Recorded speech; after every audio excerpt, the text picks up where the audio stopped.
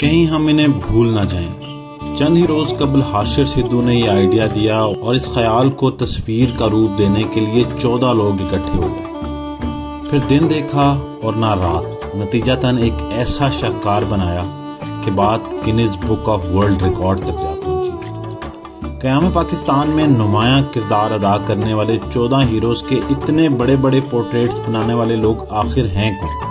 आइए आपको इनसे मिलवाते हैं और मुल्क से मोहब्बत की एक ऐसी मिसाल भी दिखाते हैं, जो शायद इससे पहले आपको कभी ना देखने को मिली आमना शाह है हमारे साथ और इनसे चंद सवाल करेंगे और वो तमाम बातें जानेंगे, जो इस सारी एक्टिविटी के पीछे छुपी हुई है। ये किसने आइडिया दे दिया आपको इतनी मेहनत करने का और फिर रात दिन लगाने का और फिर इससे हासिल क्या होगा?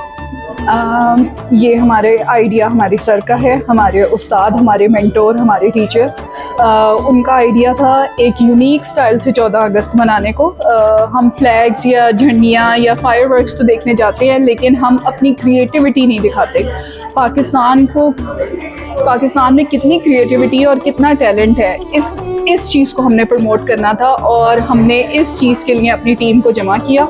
और अब हम ये आ, कोशिश कर रहे हैं कि हम पाकिस्तान का टैलेंट दिखा सकें। कितना वक्त लगता है तकरीबन एक पोर्ट्रेट को मुकम्मल करने में? आ, आप अगर एक आर्टिस्ट से पूछें तो वो एक डेडलाइन उसको दी जाती है तो तकरीबन एक हफ़्ता और उसके आठ घंटे हमने ये जितने लोगों ने मेहनत की है ये कहीं ना कहीं आ, एक तो पर्पज सर्व हो गया। ठीक है? बड़े पेट्रोटिक काइंड ऑफ़ पीपल हैं और बन गई। अब इसका करना क्या है ये? इसका करना ये है कि एक तो हमारा आ, सबसे जो इम्पोर्टेंट चीज़ है हमारा ये यूनिक रिकॉर्ड बना। देखिए गिनेस वर्ल्ड रिकॉर्ड में भी लोग जाते हैं कि सात घंटे सांस रोक ली छः घंटे किसी को वो कोई पर्पस तो नहीं सर्व होता। इसमें हमने सर्व किया है कि हमने अपना टैलेंट शो किया है पाकिस्तान का हमने अपने लीडर्स को पोर्ट्रेट किया है। अगर हम कायद अज़म मीन्स के मोस्ट इंपॉर्टेंट है, उनको तो हम फ्रेम करा के हमारी ऑफिशियल बिल्डिंग्स में, चीज़ों में हमारे फ़ौरन लग जाते हैं। तो ये हमारे सारे लीडर्स हैं, ये इवन स्कूल्स में भी लग सकते हैं, ताकि हम अपनी नई जनरेशन को बता सकें कि ये लोग थे जिन्होंने इतनी मेहनत की है पाकिस्तान ज़बरदस्त। कुछ और लोग भी हैं यहाँ पे, उनसे भी सवाल करेंगे। कितना वक्त लगा है आपको इसको बनाने में? वन uh, वीक तो लग के लेकिन अब उसके अंदर अभी भी इनकम्प्लीट है और बस अभी कोशिश जारी है उसे कंप्लीट करने में। अगर ये कोई ख़रीदना चाहे तो कितने में बेचते हैं? Uh, मैं अपनी पेंटिंग सेल नहीं करती। मैं अभी फ़िलहाल सेल नहीं करती। अपनी कलेक्शन घर पे इसको बस uh, अपने एज ए शो पीस अपनी मेमोरीज की तरह कलेक्ट करती हूँ। तो आप इसको घर पे रखेंगे? जी। तो आ, ये जो आर्ट है इसको कब से आप सीख रही हैं और आपको क्या लगता है कि ये जो आपने बनाया है ये दी बेस्ट है या इससे भी बेहतर चीज़ें बनाई आर्ट पैशन तो मुझे बचपन से था। ए लेवल्स में आके अपना मैंने शौक मेडिकल से आर्ट की तरफ़ आई क्योंकि पेरेंट्स ने काफ़ी प्रमोट किया कि आपको आर्ट की तरफ़ जाना चाहिए जो आपका कोर पैशन है। तो प्लस इसी में मुझे पीस मिलता है। इसी को ड्रॉ करके चीज़ों को ड्रॉ करके पेंट करके मुझे काफ़ी बेहतर महसूस होता है। तो it's mental therapy as well तो मैं खुद भी ये चाहूँगी कि लोगों भी लोगों को भी बताना चाहूँगी कि लोग पेंटिंग की तरफ़ ज़रूर आएँ क्योंकि it's therapy itself as well Ashish Sidhu हैं हमारे साथ और इस आर्ट गैलरी को ये रन करते हैं। और ये जितना आइडिया आप लोगों ने देखा आ, ये पोर्ट्रेट्स का और इस सारी मेहनत के पीछे आशिर साहब हैं। सर ये ख्याल कैसे आ गया आपको? और किस से इंस्पायर हुए? और ये इतना बड़ा माशाल्लाह से आपने पोर्ट्रेट बना दिया। ये क्या कहानी है ज़रा बताएँ। आपने तीन चार क्वेश्चन इकट्ठे इसीलिए मैंने एंड पे कहानी कह दी है। कहानी को खास तो नहीं ये था कि सेवेंटी फाइव ईयर्स हुए हैं पाकिस्तान को आज़ाद हुए मैं चाहता इस, इस पर तो हम थोड़ा डिफरेंट तरीके से सेलिब्रेट करें।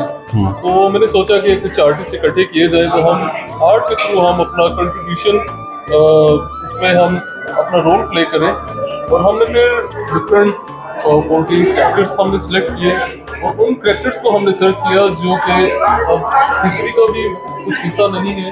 जो हमारे करिकुलम का हिस्सा नहीं है हमने ऐसे कैरेक्टर सर्च किए और हमारी यही कोशिश थी कि उनको हम स्क्रीन पे लेके आए ताकि हमारी जो जनरेशन है, हमारी यूथ है, उन्हें आइडिया हो कि ये भी बहुत मेन करेक्टर से उनका रोल क्या था। ये हमारा पर्पज़ था कि हम थोड़ा डिफरेंट तरीके से सेलिब्रेट करें और बस कोशिश करें कि हम अपना बेस्ट दें और इस तरह सेलिब्रेट करें और बड़ा अच्छा लगा इस आइडिया पे काम करना अच्छा ये जितने लोगों ने इसके ऊपर काम किया है जितने लोगों से मुमकिन हो सका है मैंने बात करने की कोशिश की है। अगर ये पोर्ट्रेट कोई ख़रीदना चाहे तो क्या इसकी किसी कीमत का भी तयन किया गया या ये सब लोग चाह रहे हैं कि ये हम अपने घर की दीवारों पे लगा देंगे या संभाल के रखेंगे? अभी तो हमारा जो मेन पर्पज़ था कि हम खुद इंजॉय करें और हम, हमने बड़ी अकीदत से बनाया और अभी हमने ऐसा सोचा नहीं है कि इनकी कोई प्राइस हम फिक्स करें अच्छा। हमने पैसे जहन में रख के नहीं इन्हें पोर्ट्रेट किया। नहीं आपने किया लेकिन मुझे ये पसंद आ गया लेट्स से और मुझे लगा कि ये बहुत ही म्यारी और खूबसूरत पेंटिंग हुई है। और मैं अगर आपसे रिक्वेस्ट करूँ तो ऐसा इरादा बन भी तो सकता है। हाँ बन सकता है ऑब्वियसली क्योंकि इतने ज़्यादा पोर्ट्रेट्स को रखने के लिए स्पेस भी वैसे चाहिए तो हमारी कोशिश होगी किसी गवर्नमेंट सेक्टर को हम अप्रोच करें जो इन्हें अच्छा। अपने बड़े किसी मेन हॉल में ये लॉबी वगैरह में डिस्प्ले कर सकते सकें आशिर को सुना आपने और ये कहते हैं कि ये एक जज्बे के तहत किए जाने वाला काम है। इसकी कीमत नहीं लगाई जा सकती और ना ही अभी तक हमने इसकी किसी कीमत का तयन किया। आ, बड़ा आइडिया है पाकिस्तान में पहली दफ़ा ऐसा काम हुआ है और इस तरह के काम शायद हमारे मुल्क की बहुत बड़ी ज़रूरत है। और आशिर साहब जैसे लोग जो हैं वो इस मुल्क का सरमाया है। जो ऐसे आइडियाज़ को इंट्रोड्यूस कराते हैं जो ऐसी चीज़ों को लेके आते हैं ये तस्वीर ना सिर्फ़ इस गैलरी की जीनत है बल्कि हमारे नौजवानों और उन यंगस्टर उन बच्चों के लिए जो शायद अगर ये पिक्चर तख्लीक ना की जाए तो इन करेक्टर्स को इन किरदारों को भूल जाएँगे। आ, सर आपका बहुत बहुत शुक्रिया आपने वक्त दिया और आपकी काविश को बहुत सल्यूट थैंक यू